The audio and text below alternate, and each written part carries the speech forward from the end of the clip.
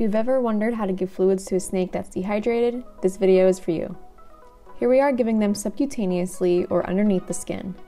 After cleaning the area, I use a small gauge needle and poke right between two scales, coming from underneath at a shallow angle. I inject just underneath the skin and a little bleb will form. For a snake that is very dehydrated, I find it so satisfying when we hit the sweet spot and you can see the fluid pocket travel up the body of the snake. Even so, depending on the volume of fluid, you may need to use multiple spots. These fluids have a little bit of vitamin B complex.